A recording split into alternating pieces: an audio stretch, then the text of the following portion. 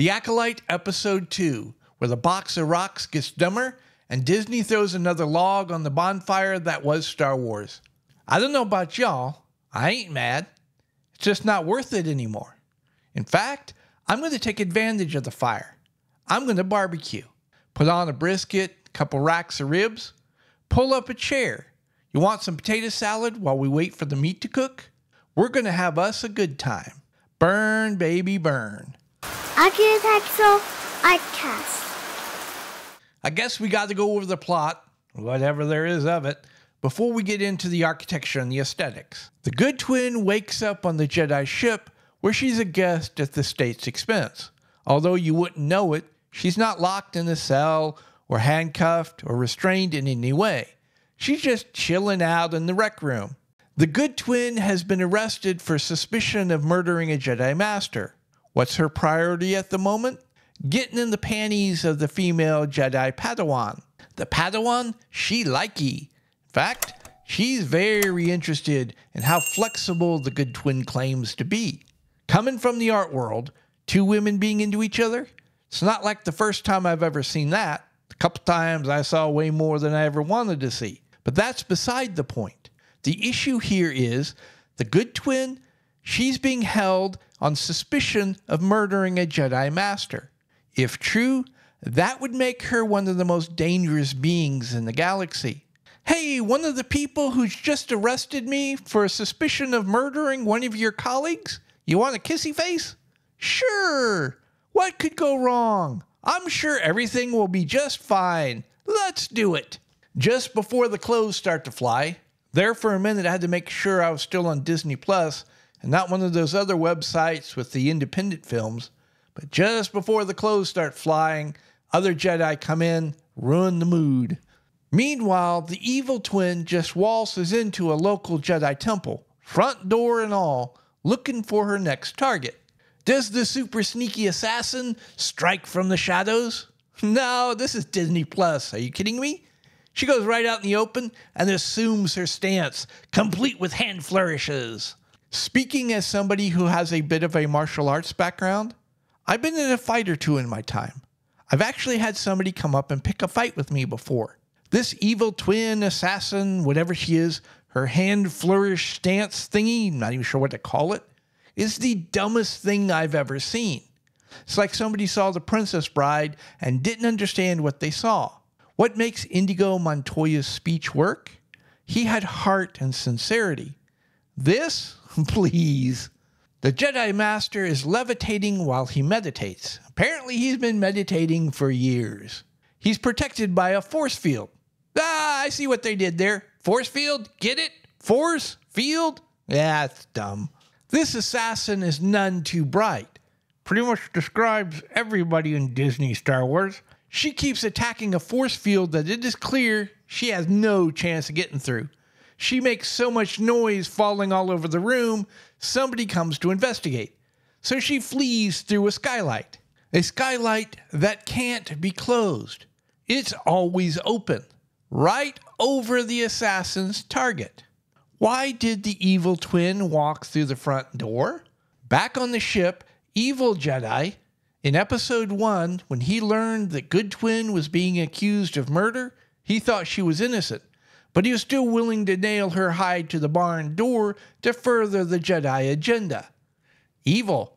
As I was saying, back on the ship, Evil Jedi learns while he's holding Good Twin, Bad Twin showed up and just tried to kill another Jedi.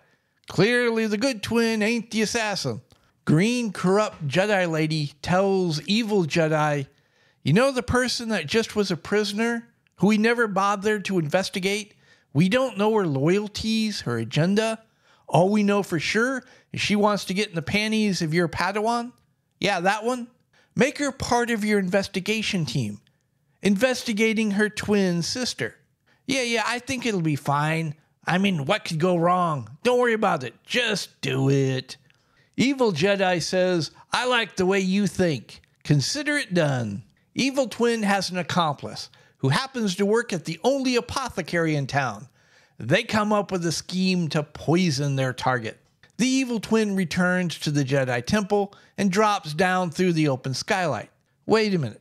Why go through the open skylight this time? Why not come through the front door?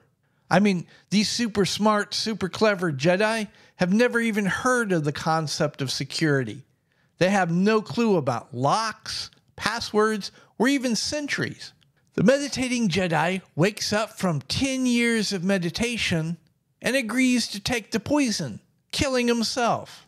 At the exact same time, Evil Twin is convincing levitating Jedi to drink the poison. The investigation squad is out front chatting up the other Jedi. By the time they get back to levitating Jedi, he's dead. The good twin says, Hey, wait a minute. This poison's from my hometown, and it's fresh. It had to come from somewhere nearby. And the other Jedi say, You know, there's only one apothecary in town. Hmm. Is there some connection here? These crack investigating geniuses go and stand on a balcony out in the open, one story above the ground, right across the street from the one and only apothecary, where we learn there's a new guy running the apothecary that no one has ever seen before. Hmm, looks like another valuable clue. These people aren't even trying anymore. The good twin is sent into the apothecary to chat up the new guy. Things go sideways real fast, so the rest of the team comes busting into the rescue. We have somebody who's an accessory to murder. He just helped poison a Jedi. So the Jedi investigating team tells him, You cooperate? We'll let you off with a warning. But if you ever do it again, you'll be in big trouble, mister. We mean it. Apothecary Dude sings like a canary. He rolls over on the evil twin in a heartbeat, tells the Jedi she'll be back here later tonight. Sure enough, later that night, evil Jedi confronts evil twin. He whips her seven ways to Sunday. This assassin is lousy at her job. I don't think she could whip cream. At any rate, the assassin gets tired of getting the stuffing knocked out of her, so she escapes by throwing a smoke bomb. Okay, how does a smoke bomb work with Jedi? Who cares at this point? In the chaos, Evil Twin grabs a vehicle. Evil Twin's confronted by a good twin who starts shooting at her as the evil twin flees. Evil Twin confronts Apothecary Dude, says, You gave me up. I'm going to kill you. Apothecary Dude says, No, no, no, no. I know where your next target's at. Let's go. And Evil Twin says, Okay, let's go. End of episode. I can assure you all, my description of the plot is a lot more entertaining than the plot itself. Not because my description's that great, the plot sucks that bad. So now let's talk a little architecture and aesthetics. Even if you ignore the lens flare, all the beauty shots of the city are grainy and low resolution. They don't want you to see any details because the closer you look, the more it falls apart, becomes unbelievable. My first reaction was defensive position on a high promontory overlooking a large body of water. That's historically accurate. That's believable. My next impression was oh, this started out as a fortress or palace or temple, and then over time it was converted into a town, kind of like Split in Croatia.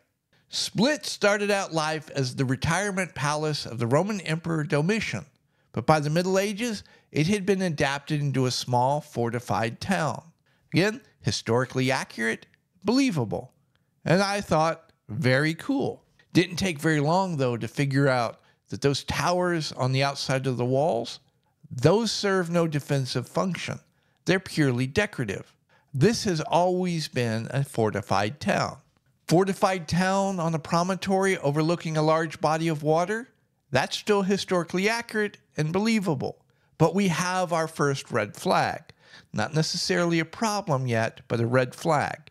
This city was built all at once at the same time, and it hasn't been modified over time. Cities that use high curtain walls for defense are pre industrial. When you get gunpowder, you have low earthenwork walls. As soon as air power enters the picture, you go underground, bunkers. Symbolism. The audience is going to interpret this city as medieval, ancient, hundreds of years old. And the designers do everything in their power to reinforce that interpretation. The medieval vibe is reinforced when you move inside the city narrow, crowded, dirty streets. All the building's walls are old, faded, cracked, and chipped. This place is dilapidated. You have a sense of an ancient city with modern technology cobbled onto it, fit in willy nilly. The balcony that the Jedi geniuses used illustrates where the red flags begin to turn into problems. It's as faded and dilapidated as the rest of the city. Even the columns, who look like they might be made out of metal, are rusted and pitted.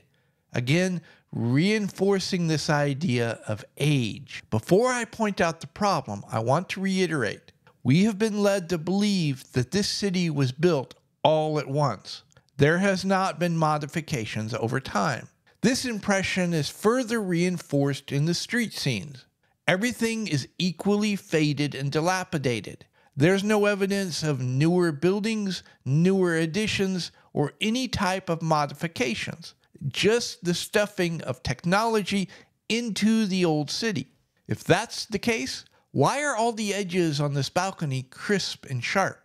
Why are all the edges on the decorations on the front of the balcony crisp and sharp? Why are all the edges on the columns still crisp and sharp? If this balcony is as old as we've been led to believe, all the edges should be smooth, worn, and rounded. There's a bigger problem. Why is the interior of the balcony just as faded as the rest of the city? It can't be. It doesn't get direct sunlight. Yes, but. Okay, there are lots of arguments you can make to hand wave that problem away. Here's another one. Why is the counter inside the apothecary shop just as faded as the rest of the city. Moving to the exterior, remember, this apothecary shop is supposed to be ancient, hundreds of years old, just as dilapidated and worn as the rest of the city. So, why are the edges around the entryway still crisp and sharp? Where are the wear patterns on the sidewalk in front of thousands of feet coming in and out over the generations? The side entrance to the Jedi Temple perfectly encapsulates all these contradictions in one little space. The aqua blue door on the right, that shape of door can be found on other planets. That's new technology, and it's just as faded and dilapidated as the rest of the city. And then there's that large door that slides up and down. It can be found on other planets as well. It's modern technology. It's also faded and dilapidated as the rest of the city, but it has another even bigger problem. You all see those tracks that the door slides up and down in? The ones that look like they were put in at the same time the city was built? And the ones that simultaneously have no wear? We have a contradiction. A city that was built before the Industrial Revolution using technology that only could have been acquired after spaceflight had been achieved. I'm just scratching the surface. The more you dig, the more problems you find. The entire illusion collapses, the city becomes unbelievable. At a certain point, you might as well use cardboard cutouts. They're just as believable. That's why architects are taught to avoid faking history. It's very hard to do, very easy to screw up. And if you do screw it up, people will notice. They will sense the inauthenticity. They will think you're lying to them. They will become hostile to you and what you're doing. Looks like the brisket's going to need a little more time, but the ribs are done, so I'm going to go eat. Y'all want to join me for another barbecue? Y'all come back around next time for my critique of episode 3. The fire is going to get bigger. There's going to be plenty for everyone. At any rate, I hope I've given you all something to think about. And until next time, y'all be safe. If y'all are still here, I really appreciate it. While you're at it, why don't you like this video, subscribe to the channel, click that notification bell. You can hear me yammer on about something else next time. Please like and subscribe. Please leave a comment.